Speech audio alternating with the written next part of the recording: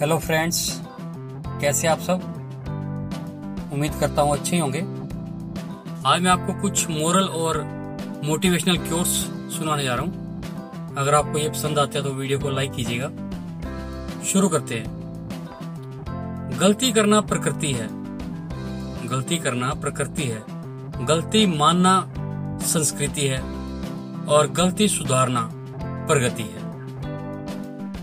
Next quote शुरुआत सबसे महत्वपूर्ण हिस्सा है, क्योंकि यही वह समय है जब चरित्र का निर्माण होता है। नेक्स्ट क्योट सम्मान का पात्र वह है जो कोई अन्याय नहीं करता। सम्मान का पात्र वह है जो कोई अन्याय नहीं करता, और उससे भी अधिक सम्मान का हकदार वह है जो न केवल खुद अन्याय से बचता है, बल्कि दूसरों को भी अन्याय करने से रोकता है। नेक्स्ट आवश्यकता सचमुच आविष्कार की जननी है।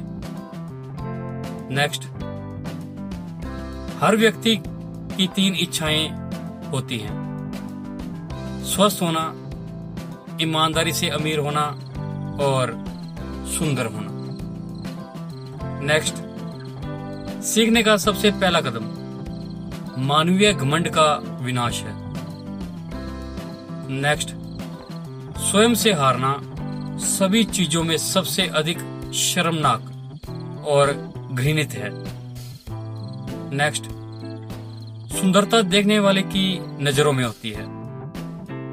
नेक्स्ट नागरिकों के बीच न तो अत्यधिक गरीबी होनी चाहिए और न ही अत्यधिक अमीरी होनी चाहिए, क्योंकि दोनों ही बहुत बड़ी बुराइयाँ हैं। नेक्स्ट ईमानदारी ज़्यादातर मामलों में बेईमानी से कम लाभकारी होती है। नेक्स्ट अन्याय का सबसे खराब स्वरूप वह है जो न्याय का दिखावा करता है।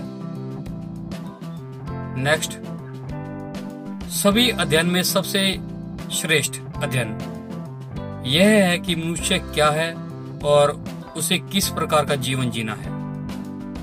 नेक्स्ट साहस यह जानना है कि किससे डरना चाहिए और किससे नहीं।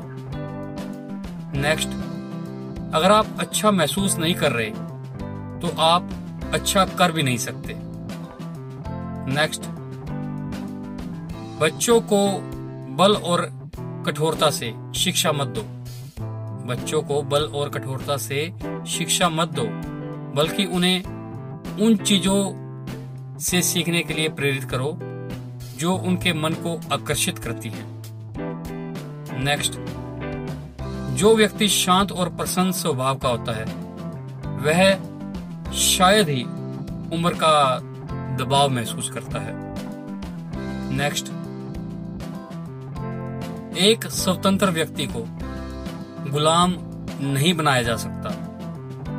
एक स्वतंत्र व्यक्ति को गुलाम नहीं बनाया जा सकता, क्योंकि स्वतंत्र व्यक्ति जेल में भी स्वतंत्र होता है। नेक्स्ट आरंभ ही आधा कार्य पूर्ण करने जैसा होता है। नेक्स्ट एक बुरा मित्र होने से एक अच्छा दुश्मन होना बेहतर है। नेक्स्ट सच्ची खुशी अच्छे काम करने और दूसरों की मदद करने से आती है। नेक्स्ट जब मनुष्य को सही तरीके से प्रशिक्षित नहीं किया जाता तो वह पृथ्वी का सबसे जंगली प्राणी बन जाता है। नेक्स्ट सत्य सुनने या बोलने जैसा आनंददायक कुछ भी नहीं है। सत्य सुनने या बोलने जैसा आनंददायक कुछ भी नहीं है। इसी कारण ईमानदार व्यक्ति की बातचीत सबसे प्रिय होती है। नेक्स्ट प्रेम एक गंभीर, मानसिक बीमारी है।